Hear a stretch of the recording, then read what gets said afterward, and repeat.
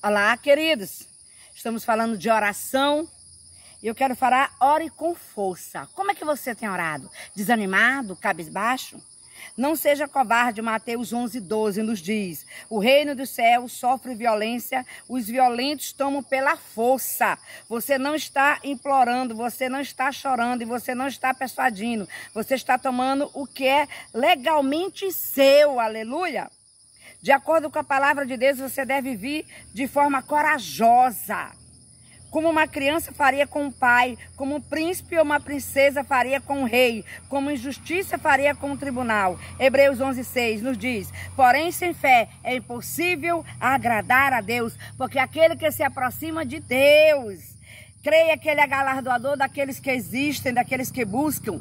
Aleluia! Busca o teu Deus com intensidade. Ore com a toda a força que você tem. Se você sente que precisa implorar a Deus pelo que ele prometeu, então você não conhece o Deus do céu. Ele é galardoador. Ele não é, é, mesquinho ao cumprir sua palavra, ele é verdadeiro no cumprimento. Mas se você não entrar em sua presença, como ele se pertencesse, então sua fé e compreensão precisaria ser aprimorados. Não é o que você não seja humilde, é que você conhece Deus pelo Pai amoroso que Ele realmente é.